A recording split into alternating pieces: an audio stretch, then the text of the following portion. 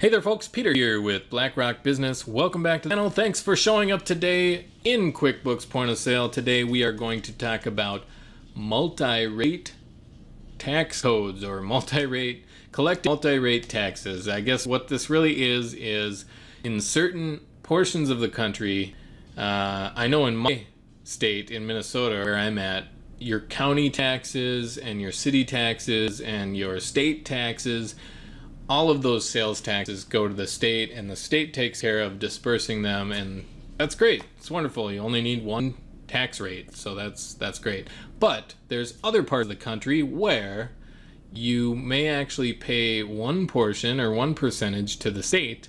You might pay one to the county and you might pay one to the city or something like that. And it's it's very complicated. You have to write three different checks and so here is how we are going to do a multi-rate tax collection.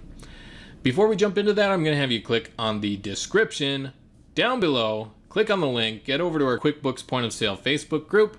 You can join up there. You can ask any question you want to other members. We have tons of members in the group and they are waiting to answer your questions, as am I. I will be in there answering questions as well.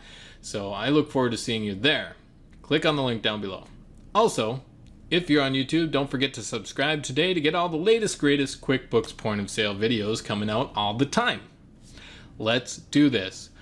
I am going to mention that on the setup interview, I have already filled this in from the first video, the simple sales tax.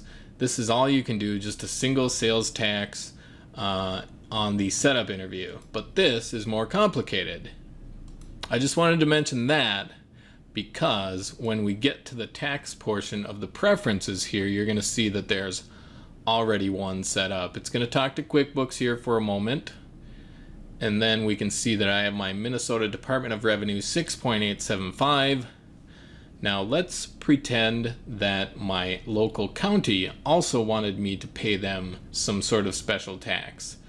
Like I said, normally, or in Minnesota anyway, uh, Minnesota grabs all of it and pays back the county or the city. But let's say you're in one of those other states where you have to, maybe you pay a local parish or something. I've heard that term as well in helping people.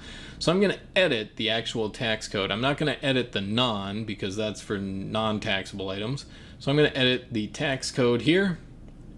I'm going to leave this the same. It's tax, tax. It's it's marked as T on the receipt. I'm going to hit next. Now instead of this being a single rate tax, I am going to choose multi-rate tax. I'm hitting next and we already have the 6.875 here for the Minnesota Department of Revenue. And I'm also going to add another tax component.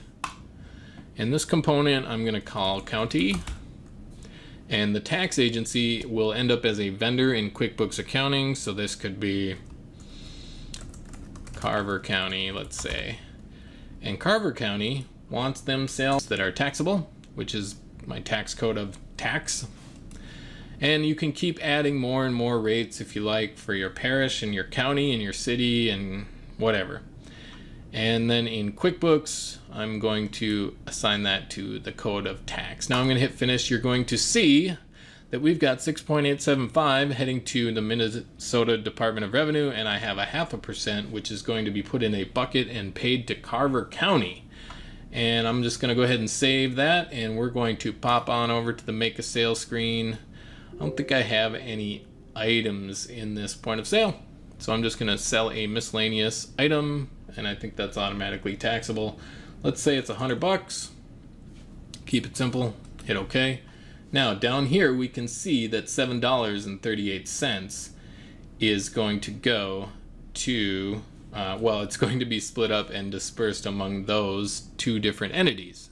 Uh, it doesn't say here who the entities are or where it's going, but there you have it. We have a multi-rate tax code and so you can pay your multiple different taxing agencies, I guess. My name's Peter with BlackRock Business. Thanks for coming along in this uh, multi-rate tax journey. Oh my gosh, taxes are our favorite thing. Not. you have yourself an excellent day. Bye-bye now.